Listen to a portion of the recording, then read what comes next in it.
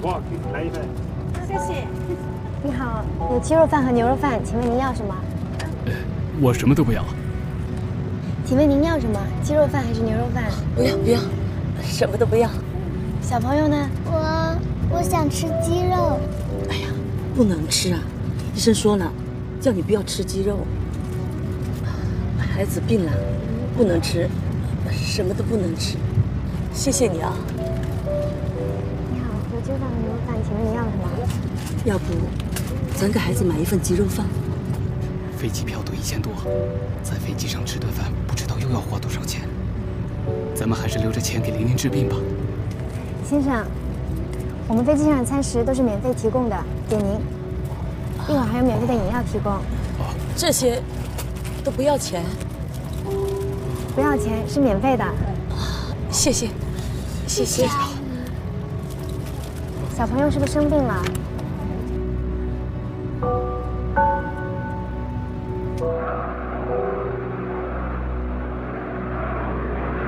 阿姨，这些是干什么用的？来，黎明，来，戴上耳机听听。这个呢是控制音量大小的，这个呀是选择频道的。飞机飞到天上这么高，哪来的电呢？妈妈，是不是我上中学就能弄明白了？妈妈，你怎么又难过？我能上中学的，还能上大学呢。孩子知道自己的病，但他比我们坚强，比我们有信心，比我们大人都强。科学家能让飞机飞上天，就能治好我的病。阿姨，嗯，怎么了，黎明？我能不能去看看飞行员叔叔是怎么开飞机的？这个恐怕不行。我就看一眼。琳琳，飞行员叔叔是负责飞行的，驾驶舱是不能随便进的。阿姨，今天是我的生日。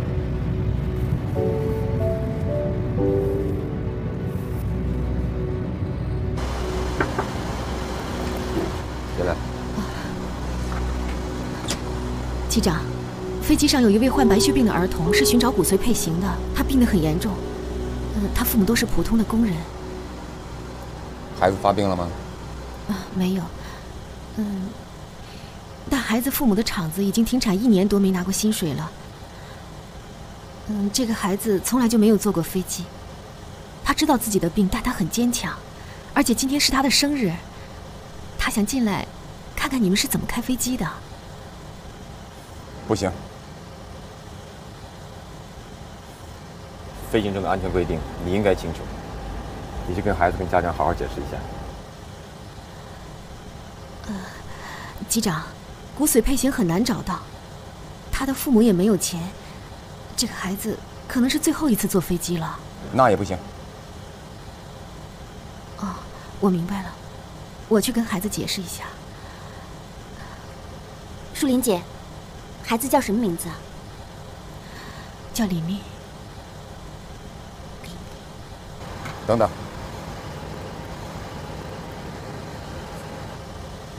机长，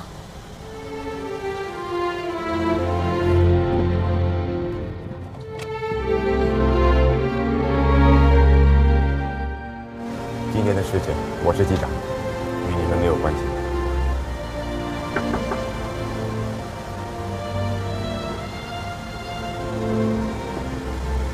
叔叔阿姨好。琳琳好，阿姨你真漂亮，更像是姐姐。琳琳长大以后一定更漂亮。琳琳，这是机长叔叔。谢谢机长叔叔。琳琳，生日快乐！答应机长叔叔，一定要再来坐机长叔叔的飞机。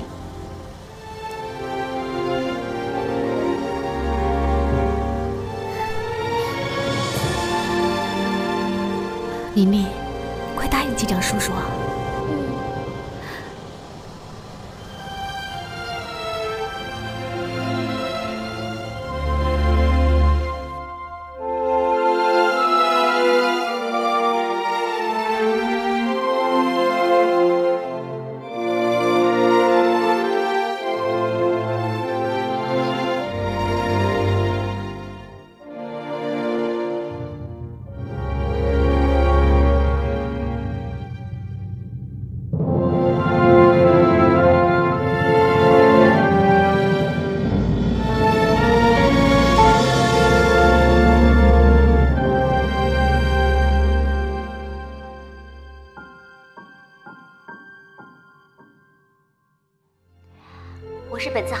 驾驶。在本次航班上，有一位叫琳琳的小姑娘，她年纪虽小，却一直在和白血病抗争。今天是她第一次坐飞机，并且今天是琳琳的生日。我代表机长和机组全体成员，祝琳琳小朋友生日快乐。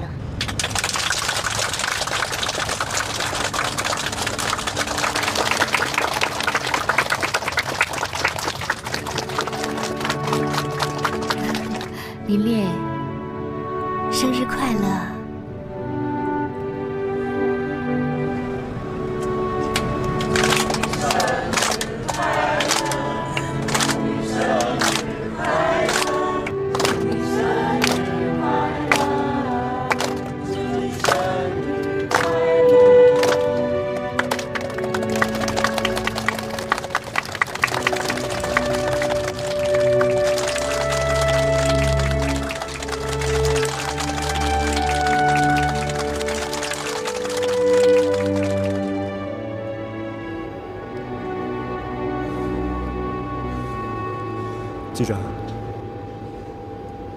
其实你也应该要个孩子了。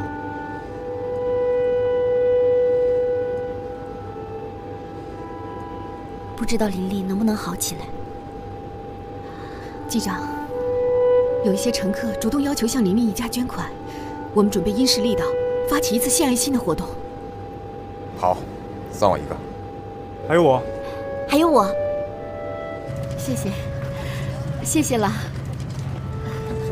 谢谢，谢谢，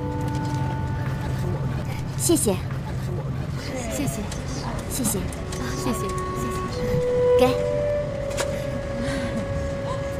琳琳，你看有这么多叔叔阿姨帮助你，我相信你一定会好起来的。嗯，这是大家的捐款，请您收下。谢谢，谢谢，谢谢，谢谢，谢谢，谢谢。琳琳。明天还和阿姨一起过生日好吗？我们还在飞机上。好。要是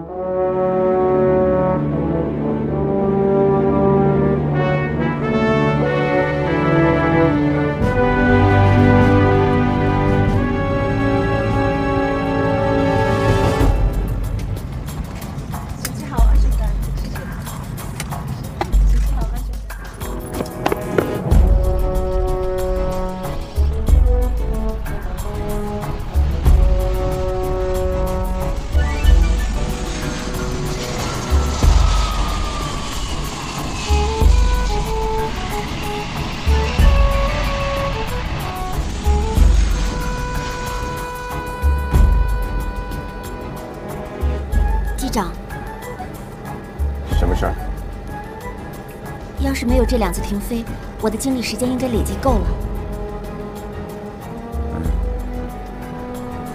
我都十来天没有上过飞机了，您能不能让我上座坐一会儿啊？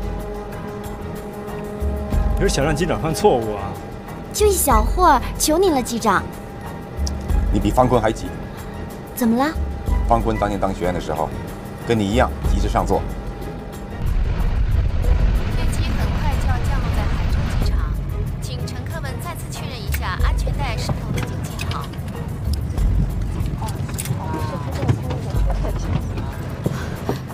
快点，快去制止乘客！飞机滑行的速度很快，容易发生危险。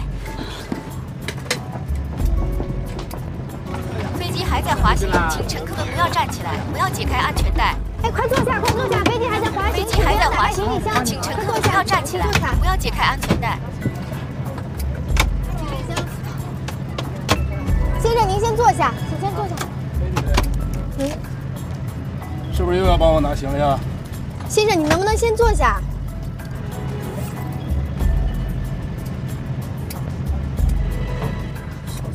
上飞机也要抢。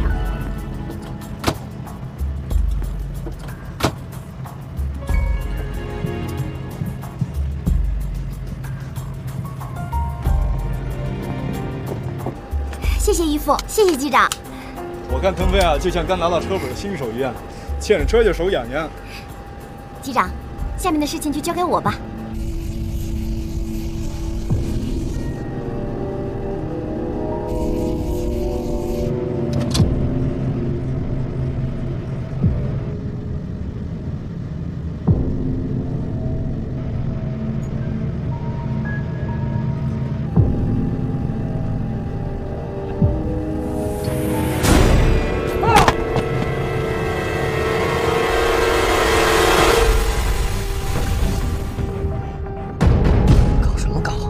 开的飞机啊？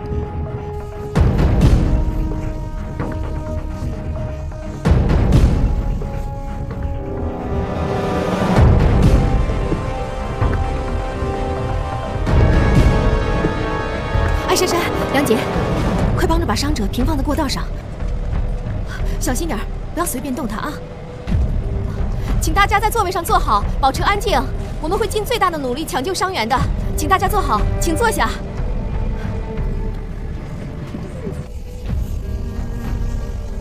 机长，有位乘客被掉下来的行李砸伤了，请马上联系地面指挥中心，派辆救护车来。我马上联系，请采取一切办法，做好伤员的紧急救护。二九二九呼叫地面指挥中心，二九二九呼叫地面指挥中心，马上回到你的位置上。好，知道了。主任，二九二九航班机长报告，有一客舱行李突然滑落，砸伤了一名乘客，伤者现在已经昏迷了。立刻通知待命的救护车赶到二九二九降落地点，通知机坪上的所有车辆给救护车让路。好。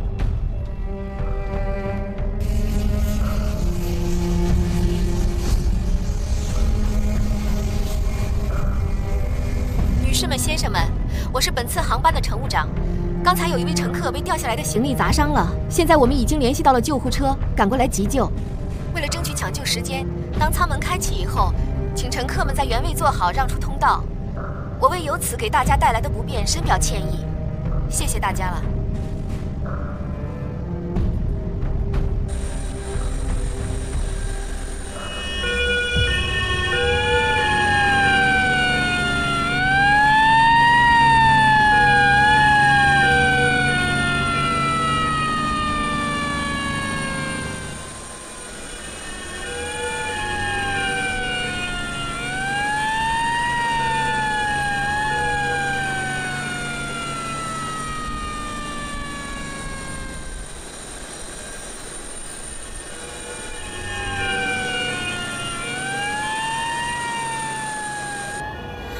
乘客已经受伤了，怎么办呀？行李滑落砸伤乘客，这种事情在各航空公司都比较常见。飞机还在滑行，乘客就站起来拿行李，这一直是让人头疼的老问题。难道让乘务组来承担责任吗？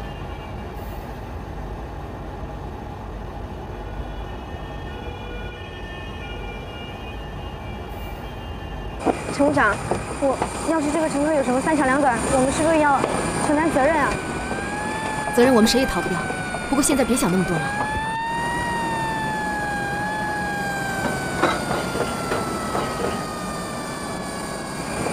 伤员情况怎么样？头部受伤，具体的先送医院做个 CT 检查比较清楚。小李，你跟着去医院，有什么情况及时跟我联系。好嘞。参谋长，你们乘务组也要派一个人跟着去医院。嗯珊珊，你去吧，手机开着啊，我会马上赶过来。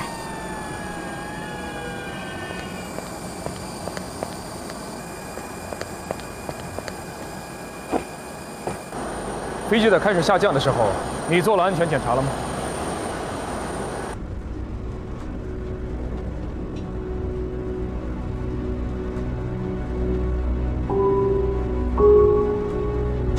先生，你能不能先坐下？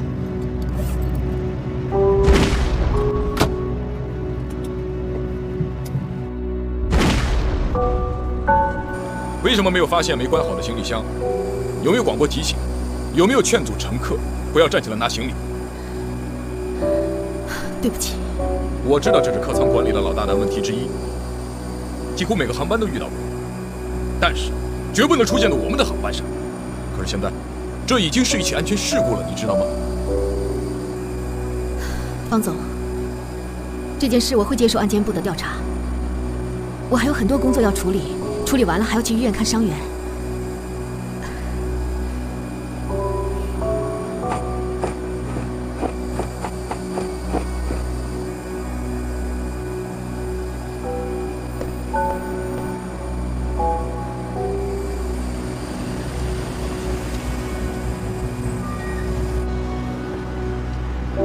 飞机在滑行的时候为什么急停了一次？可能是不是自动刹车系统出了什么问题啊？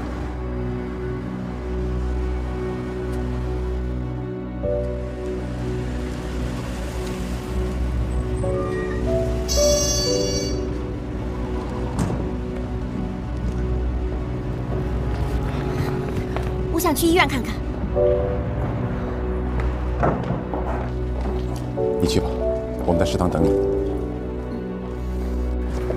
舒琳姐，你是去医院吗？我陪你一起去。这件事的责任在我们客舱部，你明天还有飞行任务，就别去了。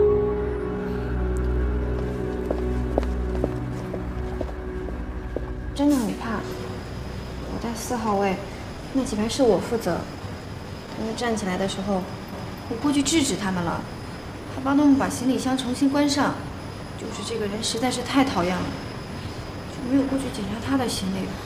其实是我们驾驶舱也有责任。对了，飞机怎么会突然停了一下呢？是不是刹车系统出了问题？我这在哪儿啊？啊！我不是，我这是在哪儿？你告诉我，我这是在哪儿？我这是在哪儿？我哎，我这是在哪儿？我这是，我为什么会在这里？这是什么地方？先生，您先别动，您现在不能起来。我怎么了我啊？你听我说，我们把您啊送到医院来了，您被行李给砸到了。不是我严严重吗？我你这，我严不严重？我会不会？你怎么样？小李，情况怎么样？方总，病人刚刚做完脑电图。我脑袋受伤了，连什么总都来了。是，天哪！是不是坠机了？我会不会有后遗症啊？我会不会瘫痪？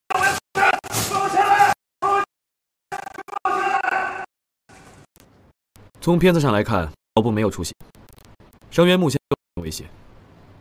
短暂的昏迷是因为突然剧烈的脑震荡引起的。脑部的外伤很容易造成小血管出血，血会慢慢渗出，所以病人还需要留院观察两天。谢谢。朱莉，飞机上又发生什么事了？啊，没什么，只是个小事故。你医生怎么说？我的脑袋是不是伤得很重啊？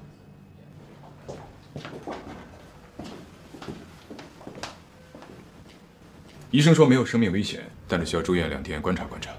那谁知道还会不会有后遗症？我上有老下有小，都靠我一个人养活。要是我残废了怎么办？我花钱坐飞机，你们就要对乘客负责。反正我是在飞机上受伤的，你们不能不管。